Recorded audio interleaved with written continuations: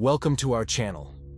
A small American town in the 1970s is at the center of attention for media, adventurers, curious minds, and brave mystery hunters. They flock here in crowds, all eager to catch a glimpse of the hideous three-legged monster that attacked a young boy, terrified a man from the neighboring house, and miraculously withstood the bullets fired at it. In today's video, we'll talk about this mysterious and terrifying creature. But before we begin, don't forget to hit the subscribe button. And without further ado, let's get started.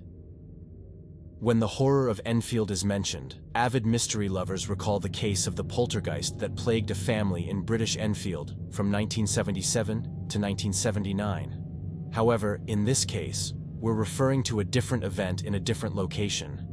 The residents of a town also called Enfield, located in the American state of Illinois, were horrified in 1973 by the sighting of a terrifying and seemingly dangerous monster. This monster turned life in the small, peaceful rural community upside down, transforming Enfield into a target destination for mystery enthusiasts and hunters longing for a unique trophy. The three-legged beast whose body is so deformed that it cannot be likened to any known animal or object. Some of them reportedly came face to face with this creature, almost within reach of the trophy. What exactly was surviving in the forests around Enfield? And where did the monster disappear to afterward? All this takes place in an area that has had a bad reputation since ancient times. Native Americans and the first European settlers have been declaring for centuries that a variety of strange phenomena occur in the southern part of the state of Illinois, where Enfield is also located. It is said to be fertile ground for observing strange orbs of light, shadowy apparitions, or terrifying entities inhabiting the local forests. Indigenous tribes in this area believed it to be a cursed place under the influence of evil spirits. The area is so renowned for paranormal activity that it has been dubbed Devil's Kitchen. Both the original inhabitants of North America and the newly arriving settlers usually avoided these parts. It was simply a mysterious, cursed land of ghosts and apparitions, where only a madman would want to live. Even in the 70s of the last century, this area was not densely populated. Enfield was just a small rural community where days passed by at a lazy pace, and extraordinary events rarely occurred. This peaceful and monotonous life of the residents in Enfield was disturbed by a sinister creature that suddenly emerged, attacked, and terrorized the entire community. Was it perhaps one of the many local apparitions that the Native Americans sought to avoid? The terrifying story begins to unfold on the evening of April 25, 1973. The Garrett couple is sitting in their living room watching television when their 10-year-old son Greg bursts into the room. He had been playing in the backyard behind the house. He is hysterical, crying, and frantically recounts that while he was playing, a deformed, hideous creature emerged from the darkness and attacked him. According to the boy, it was something indescribably hideous. It measured about 150 centimeters, had three legs, short, thick arms ending in terrifying claws, gray skin covered in slime, and disproportionately large red eyes.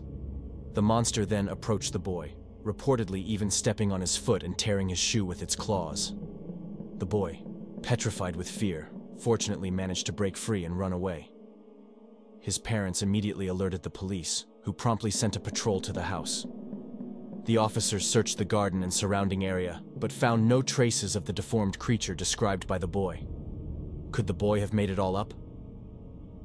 The whole thing would probably have been closed with the explanation that the boy had been frightened by some ordinary animal, which his scared mind had exaggerated into monstrous shapes. However, the same beast appeared half an hour later in the backyard of the neighboring house. The Garrett's neighbor, Henry McDaniels, is awakened by his own children, claiming they hear something scratching on the outside of the house. When he goes to investigate the situation, he indeed hears strange scratching sounds. Initially, he thinks it must be some kind of animal, perhaps a stray dog, cat, or raccoon. Nothing he couldn't scare away. So he opens the door to the veranda, but instead of a small predator, he is confronted with what little Greg saw half an hour ago. It had three legs, a short body, two small, short arms coming from the chest area, and two pink eyes as big as headlights. It was four and a half footsteps tall and was grayish in color. It was trying to get into the house. McDaniels later describes to authorities. Could he have been mistaken as well, or did something truly bizarre appear in Enfield that day? After McDaniel spots the source of the scratching sounds, he immediately slams the door shut again and rushes to grab a pistol, which, like many other Americans, he keeps in the house for potential protection. Armed with a loaded weapon, he slowly reopens the door and the creature is still there, scratching at the wall. When it notices McDaniel at the door, it hisses at him like a wild cat, and in return, he frantically fires several bullets, which hit the creature but evidently do not harm it, only drive it away.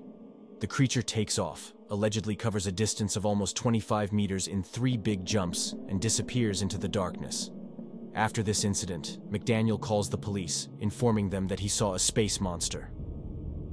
The officers search the surroundings of the house and the house itself once again. This time, they are more successful. On the exterior wall of the house, they find long scratches resembling claw marks, supporting the claim that some animal was attempting to get inside. Near the house, they also find a series of strange tracks. The prints measure about 10 centimeters across and resemble those of a dog, but instead of the usual four toes, these tracks have six. Moreover, based on their layout, they really do appear to have been created by some three-legged animal. But what kind? Regardless of what McDaniel fired at, it's certain that he didn't kill the creature. He could confirm this with his own eyes several days later. Early in the morning, sometime around 3 a.m. on May 6th of the same year, McDaniel is awakened by the excited barking of the neighbor's dog. He looks out the window to see what the commotion is about, and in the next moment, he's staring again at the three-legged monster, reportedly strolling by the nearby railway tracks. This time, he doesn't shoot at it, just watches in astonishment as the creature walks around the tracks for several minutes before disappearing into the darkness again. It doesn't take long for the story of the bizarre monster to spread further into the world. Local authorities, despite the tracks and other evidence found, are relatively skeptical of McDaniel's testimony. And when the peaceful community begins to attract media attention and visitors from outside, the man receives a stern warning from the sheriff to keep quiet and stop spreading his wild stories to the world. Is the police trying to cover up the fact that some kind of monster is roaming their jurisdiction? Or do they truly not believe the reported testimonies? Enfield is temporarily flooded with those who seek the truth. McDaniel boldly declares to reporters, if they find one, they'll find more, and they won't be from this planet, I'm telling you.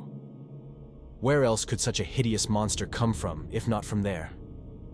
Crowds of curious onlookers, reporters, and hunters flock to Enfield in the hope of catching a glimpse of the terrifying creature, if only for a moment. And reportedly, a few of them succeed. But before they can pull the trigger of their rifle or camera, the creature vanishes. It moves faster than any human, they say. On one such occasion, however, at least the vocalizations of the monster were recorded, which sounded like agonizing howls. The strange events are subsequently investigated by American cryptozoologist Loren Coleman, who writes in an article from July 1974, I traveled to Enfield, listened to witnesses, inspected the house claddings damaged by the Enfield monster, heard some strange squeaking sounds similar to a banshee, and left confused. While Coleman is uncertain, many cryptozoologists admit that it could all be a hoax orchestrated by McDaniel himself. But how could he have pulled it off? What do you think? Could this monster from Enfield really exist? That's all from us for today. If you're interested in videos filled with mysterious mysteries, dark stories, legends, or monsters, and you crave more, subscribe to our channel so you won't miss any new videos.